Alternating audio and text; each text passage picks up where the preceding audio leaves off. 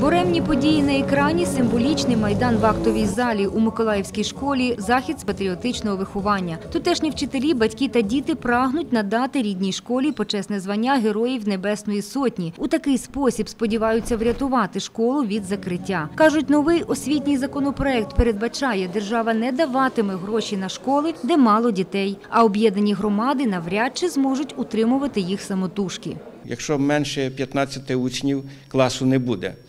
І там там є така стаття, якщо е, менше 15 учнів, ну, за рішенням громади, ну, про реорганізацію школи все рівно приймає громада місцева.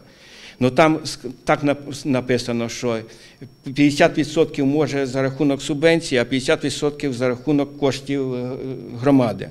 Ну я не знаю, якщо будуть кошти громади, ну я не бачу тих коштів таких великих, то тоді постане питання. Тут може просто поставити питання, що не буде, буде недофінансовуватись, і школа сама змушена буде реорганізуватись.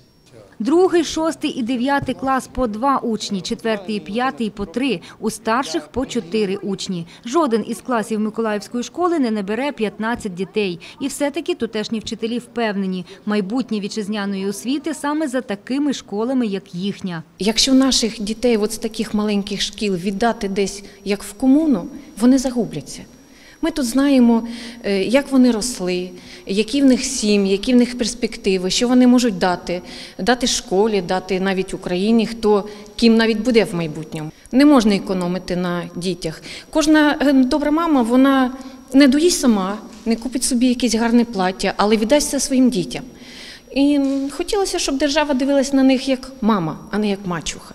Із 51 учня до Миколаївської школи нині підвозять 32 дитини. Батьки хвилюються, якщо тутешня школа перестане працювати, дітям доведеться їздити за десятки кілометрів від дому. Якщо не буде фінансування, не буде їздити автобус, діти так само не будуть ну, ходити до школи. І закриють школу, а тоді прийдеться дітей возити за 20-15 кілометрів до школи. А зима, якщо передує. Зберегти школу можна, вважають батьки, і один із варіантів запросити сюди на навчання і дітей із сусідніх сіл. Тоді класи будуть наповнені, а держава дасть гроші. Рядом село Кутюржинці. Їх направляють до Заслучного за 15 кілометрів. Вони бажають сюди до нас. Хоча то другий район, але все-таки треба посприяти, щоб їх приєднали до нас. До Чорного острова зима. Задуло, завіяло, дороги нема, як дітям. Тут взяв кожний батько за руку, перевів через місточок і вже є село з селом. Миколаївська загальноосвітня школа у 2002-му переїхала у новозбудоване приміщення. Тут тепло і гарно. Вона розрахована на 162 учні. Отже, селяни сподіваються привабити сюди якомога більше дітей. На сьогодні ця школа одна із десяти на території Чорноострівської об'єднаної громади та ще й одна з кращих.